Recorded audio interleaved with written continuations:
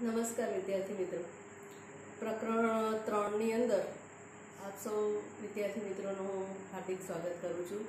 ભારતનો સાંસ્કૃતિક વારસો, શિલ્પ અને સ્થાપત્ય. હવે આપણે અગાઉ પણ વાત કરી ગયા કે ભાઈ ભારતનો જે સાંસ્કૃતિક વારસો છે, એટલો બધો સમૃદ્ધ છે કે જેને કારણે આપણને વિશ્વભરની અંદર સ્થાન મળેલું છે. ભારત જાણીતું બનેલું છે, એમ કહી શકીએ, બરાબર? હવે શિલ્પ સ્થાપત્યની જે વિવિધતા છે, એ વિવિધતાને કારણે એ ભારતને ઇતિહાસમાં એક નવી ઓળખ ઊભી કરેલી છે.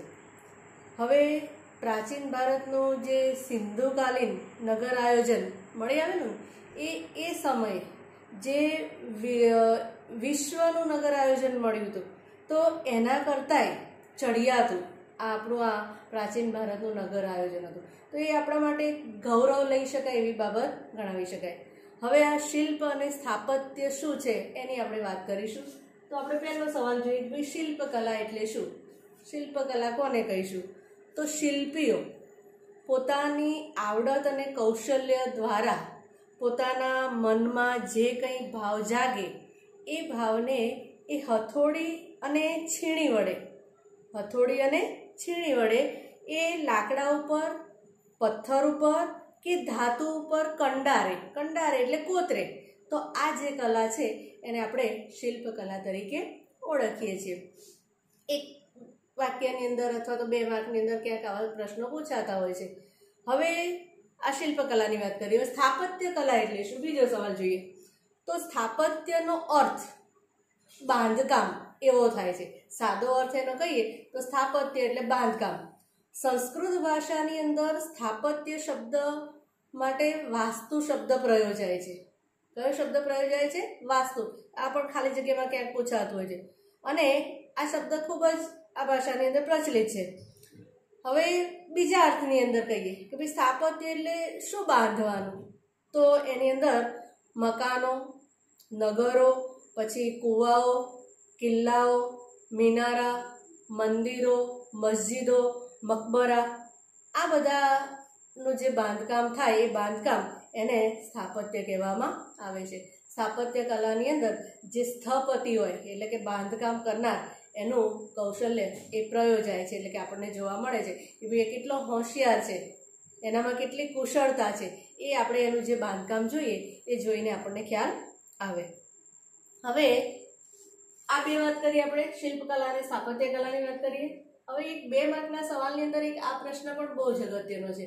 હવે આની અંદર વિદ્યાર્થીઓ ક્યાં ભૂલ કરે છે? ખબર છે તમને? એક પ્રાચીન ભારતનું નગર આયોજન અને મોહેન્જો દડોનું જે નગર આયોજન છે, એ બંને ઘણી વખત એકબીજામાં જતા રહેતા હોય છે. એટલે બંને મુદ્દા બરાબર વ્યવસ્થિત રીતે સમજો. આપણે પ્રાચીન ભારતનું નગર આયોજન જોઈએ પહેલાં. તો પ્રાચીન સમયથી એ ભારત નગર આયોજનની અંદર નિપુણતા ધરાવે છે.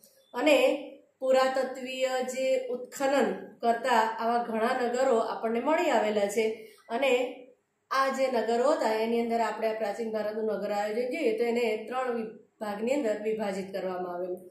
હવે પહેલો વિભાગ છે જો, શાસક અધિકારીઓનો ગઢ. ત્યાર પછી બીજો છે અન્ય અધિકારીઓના આવાસ ધરાવતું ઉપલું નગર અને ત્રીજો વિભાગ છે સામાન્ય નગરજનોના આવાસ ધરાવતું નીચલું નગર.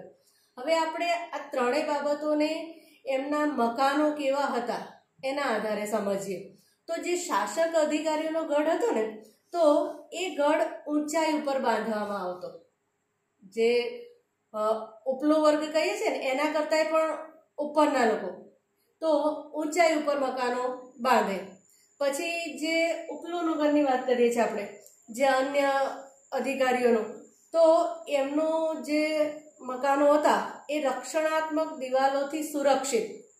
અને બેથી પાંચ ઓરડાવાળા મકાનો એમના મળી આવેલા છે. અને ત્રીજું જે ભાગ કહીએ, સામાન્ય નગરજનોના આવાસ ધરાવતું જે નીચલું નગર હતું, એ મુખ્યત્વે હાથેથી ઘડેલી કાચી ઈંટોના જે બનાવેલા મકાનો હોય ને એ ટાઈપના એમના મકાનો. એટલે ત્રણેયના આ જે ડિફરન્સ હતો એના આધારે એ એમને આપણે ઓળખી શકીએ કે ભાઈ કયા શાસક અધિકારીઓ છે, પછી એનાથી નીચેના કયા અધિકારીઓના મકાનો છે અને સામાન્ય નગરજનોના મકાનો કેવા હતા. સિંધુ ખીણની સંસ્કૃતિની જે પ્રજાએ સ્થાપત્ય ક્ષેત્રે તે સમયની બધી જ એ સંસ્કૃતિઓ કરતાં સુંદર, વ્યવસ્થિત અને એવા કેટલાય નગરો વિકસાવ્યા હતા. તે પૈકી હડપ્પા અને મોહેન્જોદડો નામના નગરો પણ મહત્વના હતા. તો આપણે અહીંયા આ પહેલા સવાલની અંદર તમારે આ છ મુદ્દા જ યાદ રાખવાના. પ્રાચીન નગર આયોજનની અંદર એ ત્રણ જે આવાસો ધરાવતા લોકો હતા એ અને એમના મકાનો કેવા હતા હવે બીજું જે નગર આયોજન આપણે જોઈએ છે, મોહેન્જોદડોનું નગર આયોજન. હવે એ ક્યારે શોધાયું અને એની કઈ કઈ બાબતો જાણીતી હતી? તો ઈસવીસન ઓગણીસો ને બાવીસમાં સર જોન માર્શલ અને કર્નલ મેકેનાના માર્ગદર્શન નીચે એ રખાલદાસ બેનર્જી અને દયારામ સાહની. એમણે એ બે ભારતીય પુરાતત્વવિદો હતા. એમણે સિંધ, હાલ પાકિસ્તાનમાં છે. એના લારખાના જિલ્લાની અંદર ત્યાં મોહેન્જો દડો ખાતે ખોદકામ કરતા એક વિશાળ એ નગર સભ્યતાના અવશેષો મળી આવેલ. મોહેન્જો દડોનો અર્થ શું થાય? તો મોહેન્જો દડો એટલે મરેલાઓનો ટેકરો. મોહેન્જો દડોનો આપણે અર્થ કરીએ તો શું થાય? મરેલાનો ટેકરો. હવે એની કઈ કઈ બાબતો વિશેષ હતી?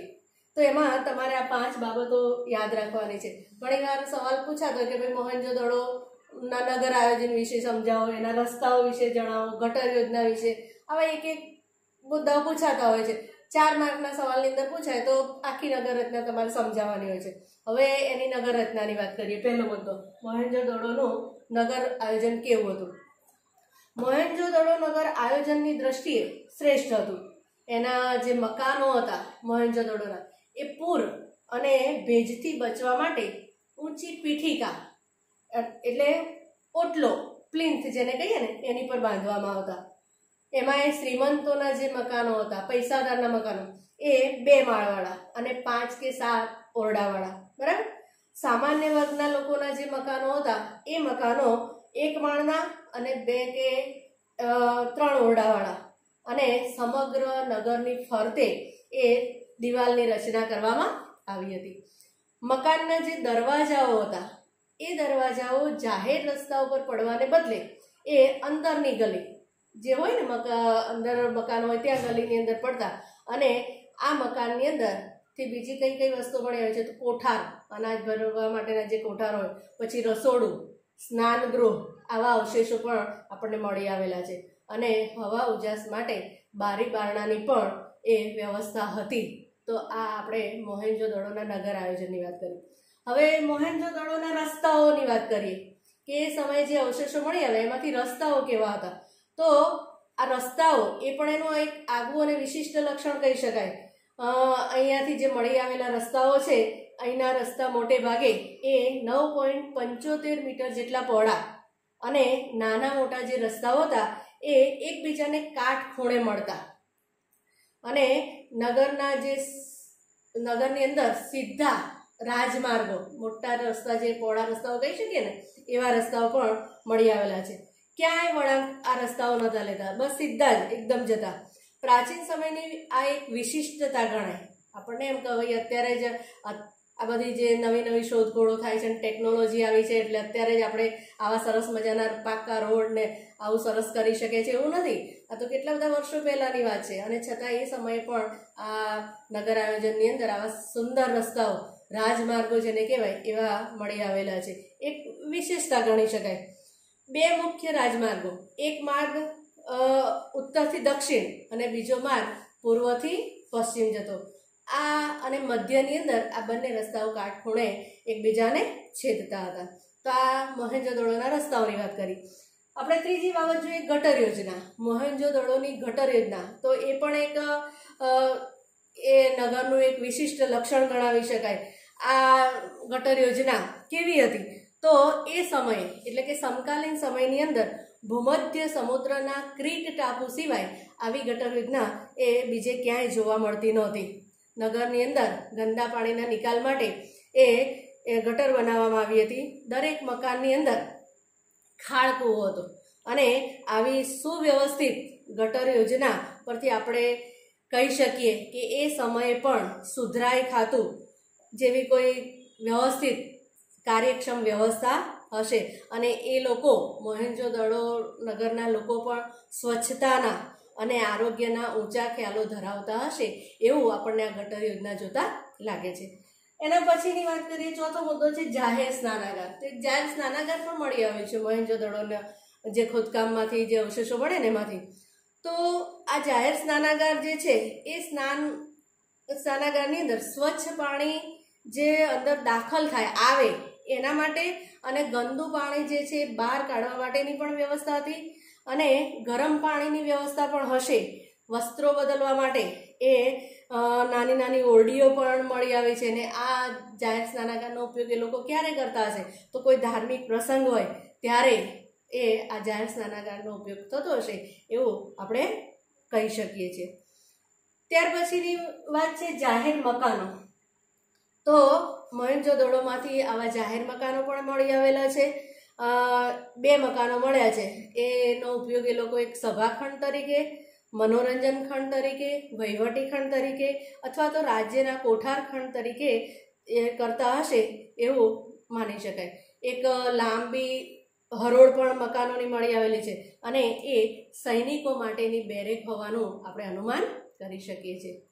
તો આપણે જે નગર આયોજન છે, એનું આપણે ચિત્ર પણ જોઈ લઈએ મોહેન્જો દડોનું. એ જોઈને તમને ખ્યાલ આવશે કે એ સમયે આ જે નગર આયોજન છે, એ આજના આધુનિક યુગના જે આયોજનો છે, મકાનોના કે નગર આયોજનના, એના કરતાં સહેજ પણ ઉતરતું આપણે ના ગણાવી શકીએ.